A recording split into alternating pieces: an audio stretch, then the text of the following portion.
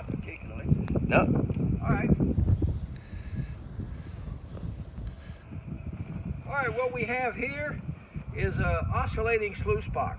This thing kind of shakes back and forth. Material goes out and it drops right out here in this middle area right there, right down into the sluice box.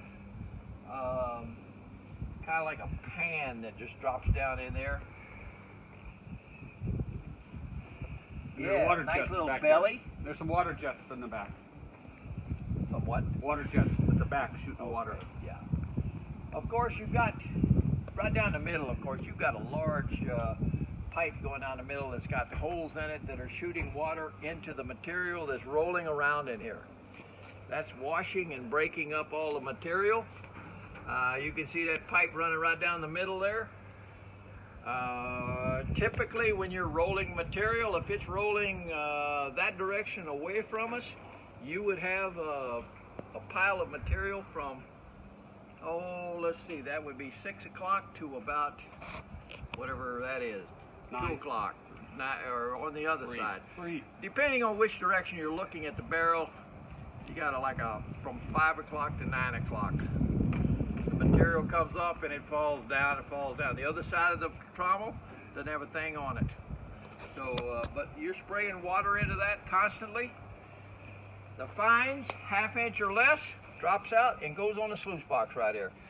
You've got uh, some riffles here. We're gonna do a little modification on that for the for the uh, fabricator. We need to add at least one bar across here without bars in them.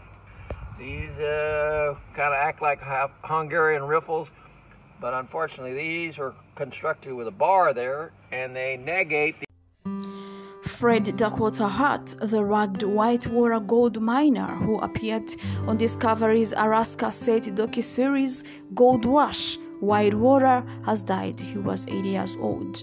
Hurt's family announced his death Monday with a statement posted on his official Facebook page. He died Monday surrounded by family after battling stage 4 brain cancer. Four months after he announced his diagnosis, he had marked his 80th birthday on Sunday. He fought courageously in his battle against cancer. Fred touched many lives and we loved and supported by many. The statement said. The fan favorite started his gold mining career in North Dakota, building a family legacy before co starring in Gold Rush South America, Gold Rush, The Legend of Porcupine Creek, and the spin off series Gold Rush Whitewater with his son, veteran miner Dustin Hurt. The Whitewater series, which premiered in 2018 and is among several in the network's gold mining franchise, is set high in Alaska's remote Chilkat Mountains and follows whitewater gold seekers, divers, and mountaineers in their pursuit of millions in gold. In season 6, Dustin had the opportunity to buy his father's mining equipment and run two crews simultaneously for the first time.